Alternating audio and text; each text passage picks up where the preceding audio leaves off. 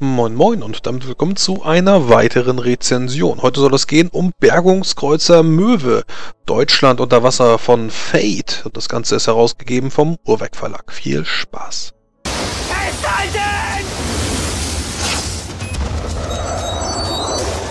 Zunächst vorneweg, ich habe im Vorfeld zu dieser äh, Rezension mit André gesprochen von der Fate-Redaktion und er sagte mir, dass ich Bergungskreuzer Möwen nicht allzu ernst nehmen sollte und äh, hier mit einer Portion Augenzwinkern das ganze Buch lesen soll. Und dann funktioniert das auch. Äh, wenn man dieses Buch ernst nimmt, ähm, ja, vorneweg, äh, man sollte es einfach nicht tun. Man sollte dieses Buch nicht ernst nehmen. Äh, es ist ein paar schöne, ein paar schöne Szenarien sind drin und die Idee ist super. Hat mich auch äh, richtig angesprochen, als ich dann davon gelesen habe über dieses Buch. Da äh, habe ich dann auch gesagt, ich will das mal, ich will das mal haben, ich will da mal reinlesen äh, und war dann während des Lesens ein bisschen verwirrt und musste dann eben nochmal Rücksprache halten mit André. Dazu dann allerdings gleich mehr. Ja, wir beginnen auch direkt äh, in dem Jahre 1909 mit dem Einstieg, wo die Außerirdischen, wo auch immer sie herkamen, angegriffen haben, und zwar indem sie die Polarkappen abgeschmolzen haben. Ähm, rein rechnerisch würde der Meeresspiegel um 6 Meter wohl steigen. Äh, hier sind es dann einfach äh, 70 Jahre später 125 Meter, äh, sodass wir dann, ähm, naja, mit diesem Ausgangssetting 1909 haben dann die beiden Weltkriege einfach nicht stattgefunden, 1914 und 39. Ähm, die waren dann ja eigentlich hinterher, hier haben sie eigentlich gar nicht stattgefunden, weil man sich um diese Aliens kümmern mussten. Und ähm, ja, jetzt äh, nach 70 Jahren haben sich die Welten, die Regierung haben sich da so ein bisschen drauf angepasst. Ähm, ja, man muss sich einfach damit, äh, man muss einfach damit leben, dass jetzt der Wasserspiegel so sehr stark gestiegen ist. Es gibt auch noch eine Karte äh, von Europa beziehungsweise von Nordeuropa, die ich dann hier einfach mal einblenden kann. Die ist auch mitten im Buch zu finden. Äh, ich greife aber hier schon mal vor und zeige euch einfach mal diese Karte, damit ihr wisst, wovon ich rede. Die Aliens haben angegriffen, ähm, das UFO wurde dann mit Hilfe der Deutschen abgeschossen und ist versunken, sodass jetzt äh, prinzipiell noch ähm, dieses UFO auf dem Meeresgrund gefunden werden könnte. Allerdings äh, gibt es eben auch noch ein paar Trümmerteile, die jetzt dafür sorgen, dass auch die Tierwelt, die dort unten lebt, beeinflusst wird. Ähm, Haie werden gefährlicher, größer und äh, was da eben noch alles an Zeug unten ist, alles wird irgendwie verändert. Aber äh, das einfach mal zu diesem Ausgangsszenario von Bergungskreuzer Möwe. Das Ganze ist für Fate geschrieben und das bedeutet, dass eben äh, ja auch Regionen oder äh, Objekte einen Aspekt bekommen können. Und das ist in diesem Fall äh, der weltumspannende Aspekt unvorhersehbare See. Was man daraus macht, ist dann dem Spielleiter selbst überlassen. Das kann man dann reizen, das kann man mit Fate-Punkten, kann man diesen, diesen Aspekt dann eben für sich selbst benutzen. Äh, unvorhersehbar äh, kann natürlich negativ als auch positiv sein. Und ähm, das ist ganz interessant. Äh, es geht dann natürlich darum, dass man in dieser Abenteuerwelt mit seinem äh, mit seiner Bergungskreuzer Möwe nach draußen fährt. Ob das ein Schiff ist oder ein U-Boot, das entscheiden die Spieler dann auch nochmal äh, mit sich selber. Äh, kann dann festgelegt werden. man spielt dann Besatzungsmitglieder Mitglieder. Aber äh, ganz generell geht es jetzt eben darum, dass diese See erkundet werden muss. Ja, äh, natürlich wird auch Deutschland beschrieben ähm, im Vorfeld. Es gibt noch ein paar neue Aspekte, die dann äh, technischer Natur sind, so dass alle irgendwie Treibstoff brauchen, damit sie ihre Schiffe dann motorisieren können. Oder politische Aspekte, auch das wäre möglich, ähm, dann hier zu reizen. Ähm, ja, je nachdem, wo man sich dann aufhält und wie einem das gerade lieb und recht ist, äh, könnte man dann hier eben auch noch die technischen oder die politischen Aspekte reizen. Die neue Grenze von Deutschland wird dann eben auf der Karte eingezeichnet, das kann man erkennen, Bielefeld, eine Stadt, die eigentlich gar nicht existieren sollte, wo ein schwarzes Loch liegen sollte, äh, ist dann einer der größten Häfen. Äh, Dresden hat einen Fjord. Ähm, Naumburg wird hier erwähnt und äh, ich muss gerade überlegen, München. München, was natürlich weit im Süden liegt, ist die neue Hauptstadt. Da ist das Wasser noch nicht hingekommen und da regiert dann immer noch, ja, der Kaiser beziehungsweise die Kaiserin. Denn, ähm, naja, wenn wir äh, im Jahre 1909 gestartet haben, dann wird es damals eben noch ein Kaiserreich gegeben haben und dementsprechend, ja, sind diese politischen Strukturen erhalten geblieben. Es gibt keinen Kanzler oder so etwas. An äh, dieser Stelle des Buches wird es dann jetzt zum ersten Mal so ein bisschen palpig, da kann ich auch ein bisschen schmunzeln. Es ist zwar so, dass der Ozean mit Chemikalien und Ölrückständen äh, verpestet wird, alle Abfälle werden ins Meer geleitet und es wird auch unglaublich viel gefischt, aber da passiert irgendwie nichts, das steht hier auch drin, die Wasserqualität ist hervorragend, niemand weiß genau, warum das so ist.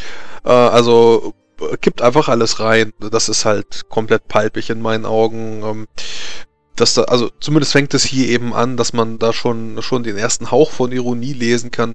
Ähm, man kann so viel fischen, wie man möchte. Äh, es wird nicht weniger. Es ist eher auf einem Rekord hoch und man weiß nicht genau, äh, wieso das so ist. Das gleiche gilt auch für Wale. Also man muss sich hier keine Sorgen machen. Das Wasser äh, mit dem angestiegenen Meeresspiegel, die Fische fühlen sich pudelwohl und äh, da ist immer für Nachwuchs gesorgt. Ja, dann kann man sich eben noch einmal festlegen, wenn wir auf einem Bergungskreuzer spielen, wie soll der aussehen.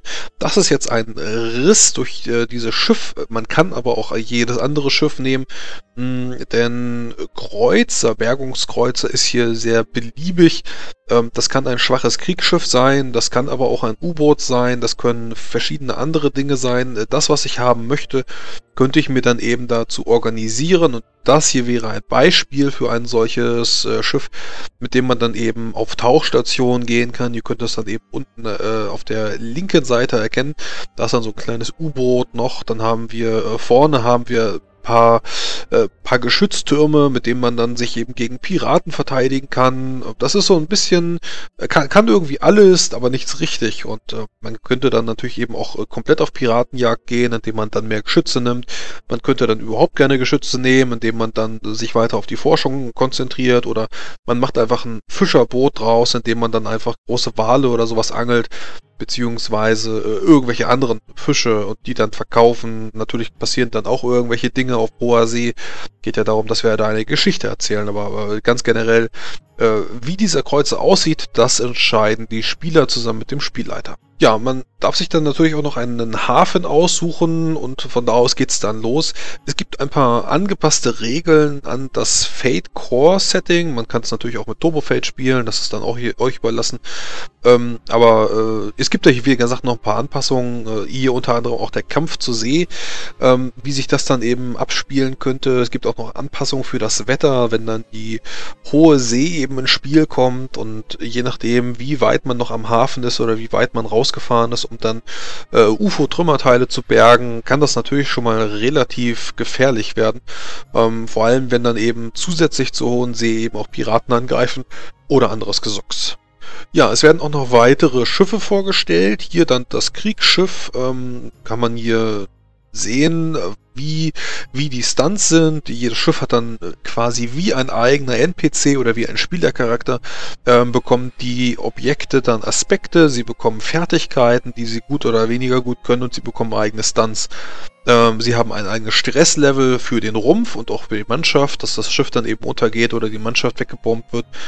Und das finde ich ziemlich cool, dass man äh, nicht nur dann eben die Spielercharaktere so generiert, sondern eben auch die Schiffe, mit denen man unterwegs ist. Und es fühlt sich dann, glaube ich, ich habe es noch nicht gespielt, aber ich glaube, es könnte sich dann sehr, sehr heimisch anfühlen, wenn man dann eben mit so einem Kriegsschiff loszieht, äh, wenn man das ausrüstet, eigene Stunts entwickelt.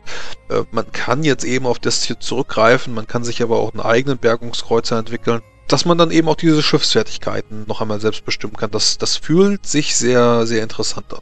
Ja, äh, ich hatte es eben schon angesprochen, man kann auch U-Boote benutzen, beziehungsweise den ganzen Kreuzer als Unterseetransporter äh, ja, klassifizieren. Äh, ich glaube, auch das wird sehr interessant, weil dann die Piratenkämpfe an Deck äh, sich ganz anders gestalten. Da müsste man sich eben noch überlegen, wie das dann eben passieren könnte. Man könnte natürlich auch selber Piraten sein, wenn das dann mit der mit dem Spielleiter vereinbar wäre, dass man andere Schiffe überfällt. Hauptsache, man erlebt ein paar Abenteuer und äh, kann so ein bisschen die Narration hochleben lassen. Äh, ja, viele, viele Zeichnungen auch noch, die sind alle in diesem Stil gehalten. Hier muss auch gar keine Farbe rein, finde ich. Ähm, klar, das Buch ist irgendwie da in Farbe, wo es, äh, wo es sinnig ist. Könnt ihr dann eben an diesem Grün hier sehen, aber ich finde, diese Zeichnungen haben auch gar keine Farbe dann. Ähm, ja, muss, muss man gar nicht machen. Man könnte die Sachen jetzt eben noch einmal kopieren, als Handout ausgeben und äh, vielleicht auch von den Spielern anmalen lassen. Das würde natürlich auch gehen. Äh, Finde ich zumindest ziemlich cool, die Idee. Und ob man das dann irgendwie gelb anstreicht mit dem Yellow Submarine oder ob man das blau macht oder irgendwie anders äh, aus, ausmalt. Hm, ja, das ist dann euch überlassen zusätzlich zu einer äh, Zufallstabelle, wo man dann auswürfeln könnte, was gerade passiert. Das ist natürlich auch wieder abhängig vom Wetter, abhängig von der Lage des Schiffes, ähm, wo man dann eben jetzt sich diese, diese äh, Tabelle zu Herzen nehmen könnte. Hm, gibt es auch mehrere Abenteuerszenarien, die hier vorgeschlagen werden. Und das ist der Punkt, wo ich sage, lest das mit dem Augenzwinkern. Ähm, denn ja, Deutschland hat, wie gesagt, dieses UFO abgeschossen, hat damit die Welt gerettet und stellt die, die, äh, die Weltpolizei, wenn ich jetzt mal so sagen möchte. Ähm, durch, den angestiegenen, durch den angestiegenen Meeresspiegel ist dann die Niederlande bzw. Holland untergegangen. Und naja, die Dänen, das ist so ein, so ein Augenzwinkern wieder, dass die Deutschen und die Dänen sich ziemlich gut verstehen und ähm, die werden hier wohl als, ja, als Gebärmaschinen benutzt, die Däninnen, ähm, so dass man hier sie wohl entführt hat.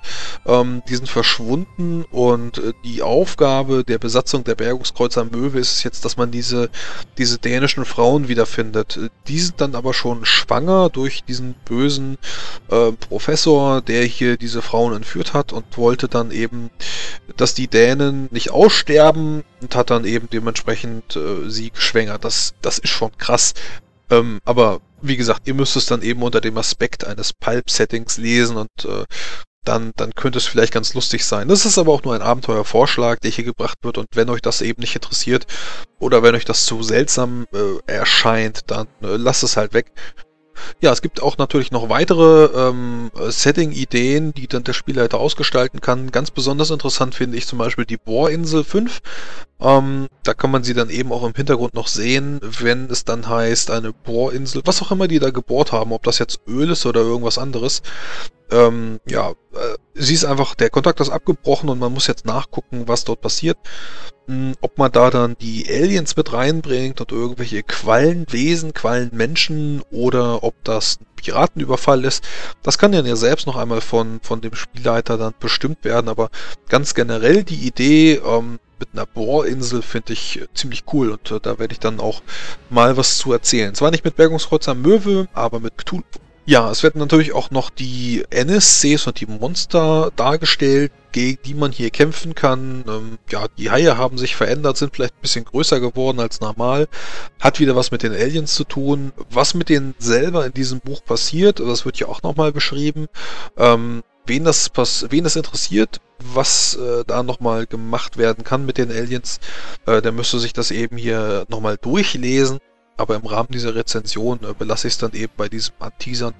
Ähm, ja, aber wie gesagt, äh, Haie von verschiedener Größe, Quallenwesen, Quallenmenschen, eben hier auch wieder ein Alien-Aspekt. Ähm, auch das wird alles hier verwurstet. Ja, es folgt noch ein Anhang, eine Hitliste mit Liedern, die 1982, also damals, äh, gespielt hätten werden können. Äh, wie gesagt, das äh, Setting Bergungskreuzer Möwe spielt ja in der Vergangenheit 1982 in einer alternativen Realität und dementsprechend hat man sich einfach mal also angesehen oder die Fate-Redaktion hat das hier getan.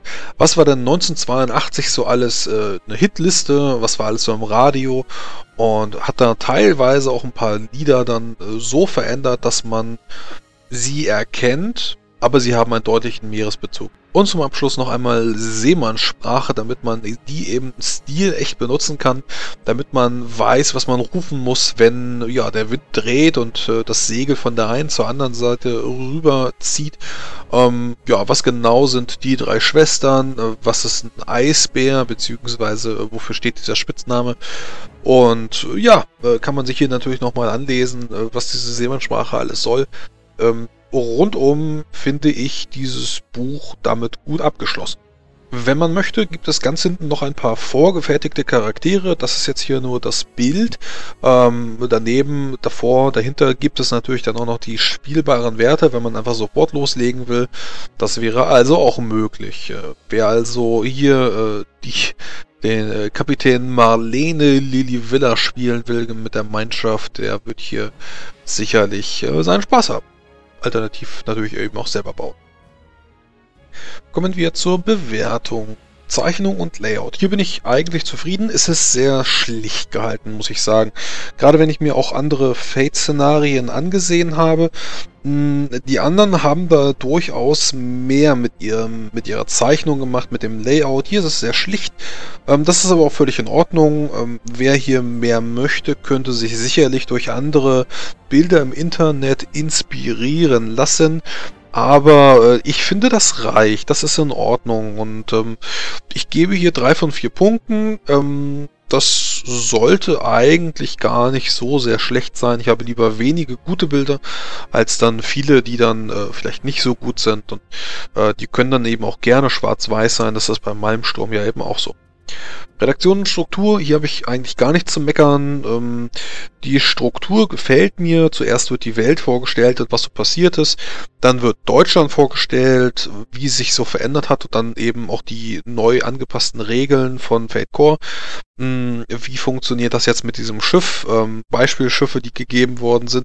Ähm, dann werden natürlich noch ein paar Abenteuer oder Abenteuervorschläge präsentiert, die man ausgestalten kann. Es gibt einige NPCs, die hier äh, mit Werten vorgeschlagen werden, damit man eben ungefähr ganz grob weiß, äh, wie sowas aussehen könnte.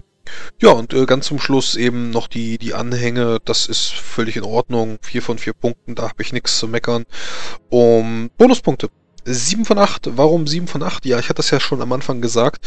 Ich hatte es beim ersten Durchlesen mit viel Skepsis betrachtet und beim zweiten mit einem Lachen.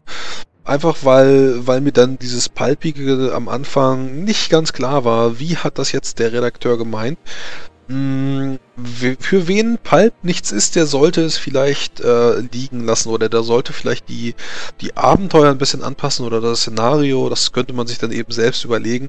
Äh, so wie es jetzt hier drin steht, ist es palpig. Ich selber mag das Szenario, dass man jetzt in einem überfluteten Deutschland spielt, beziehungsweise ganz generell in einer überfluteten Welt. Und was man dann letztendlich daraus macht, ist dann ja einem äh, Spielleiter selbst überlassen.